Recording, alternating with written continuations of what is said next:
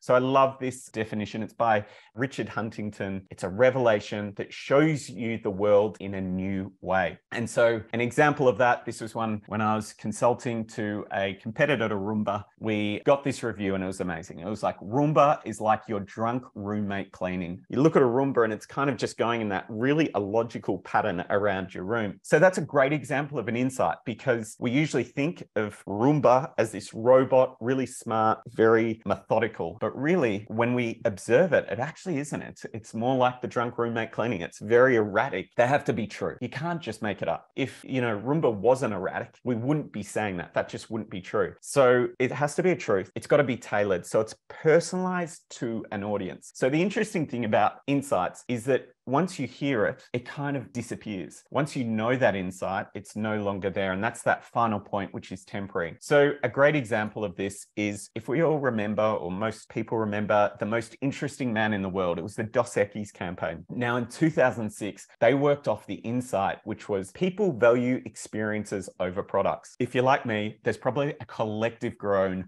from the 1,900 strategists on this of like, oh my God, that's in every brief. And that's not an insight. Like everyone knows that. You know, the interesting thing is it was a truth. And for a time, for a tailored audience, that was something, a bit of a revelation. People hadn't thought like that. But now with time, we realize that once it's been said multiple times, times, time and time again, it loses its, its value. It's how the rest of the world sees it. Why would that be important to advertising? And the reason it is important to advertising is two things. In advertising, we want to be remembered, and then we either want people to think differently about us. If we're a new brand, we kind of want to be remembered. No one's looking for advertising, no one's going out of their way to, hey, I just want to watch some ads today. We're fighting for attention. So we need something that kind of trips people up, that gets them to pay attention. And so that's what insights do. They help us pay attention. And when there's 6,000 ads pummeling us every day, we try to block them out. Anything that we see as a pattern, we kind of look past that. And what insights do is that they pierce our kind of subconscious. They go, ha,